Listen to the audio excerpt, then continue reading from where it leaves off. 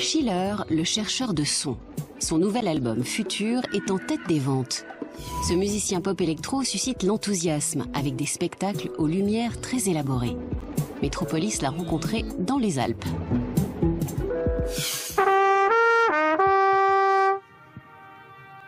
Christopher von Dylan travaille comme la pop star islandaise Björk. Il collecte des tonalités dans la nature pour sa musique, faite de ses sons pris sur le terrain. Il a pris pour pseudo le nom de Schiller, le poète allemand.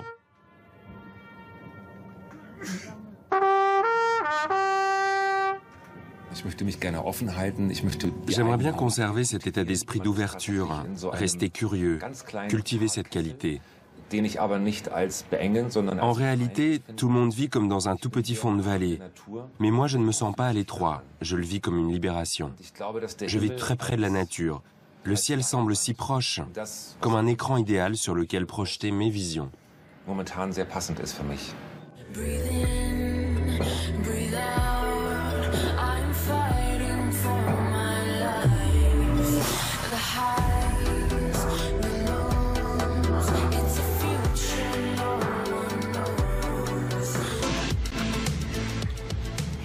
Schiller vient de produire un nouvel album, son neuvième. Il s'intitule simplement Futur. Nous allons voir le musicien au lac de Königse, en Bavière. Il veut profiter d'un tour en bateau pour collecter des sons et des visions. Un voyage dans les Alpes, c'est encore l'hiver.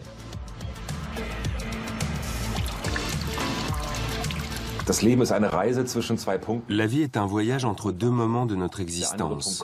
L'un appartient déjà au passé, l'autre arrivera immanquablement. Tout ce qui me reste à faire, c'est un état des lieux. Les voyages ont toujours été et resteront une importante source d'inspiration pour la musique de Schiller. Son deuxième album déjà, Voyage autour du monde, était comme la bande-son d'une promenade de Londres à Pékin. Christopher von Dylan transforme ses voyages en paysages sonores.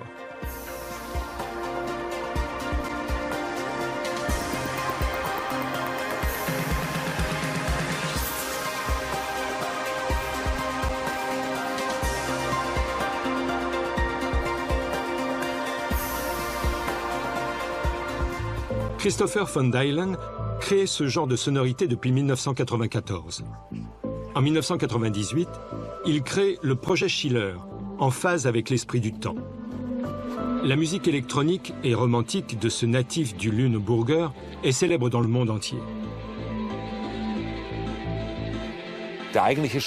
Lorsque j'ai été initié à la musique électronique, j'avais 12 ans. Un ami m'avait offert une cassette bruyante du groupe électro-berlinois Tangerine Dream, avec des sonorités que je n'avais jamais entendues auparavant.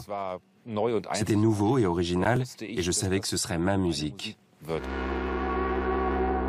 Schiller se considère comme l'héritier du krautrock électronique des années 70. Il se produit parfois avec des musiciens de ce temps-là, comme le batteur de Cannes, Yaki Liebezeit. Il a un autre modèle musical, français celui-là, Jean-Michel Jarre, un maître de la musique électronique naturelle. L'électronique et le courant électrique proviennent finalement de la nature. Je tente seulement de canaliser leur élan et de l'organiser pour créer des harmonies audibles. Puis j'enrichis avec des sonorités et des bruits que j'emprunte vraiment à la nature. Je crois que l'on y trouve plus d'inspiration et de liberté d'esprit que dans les grandes agglomérations.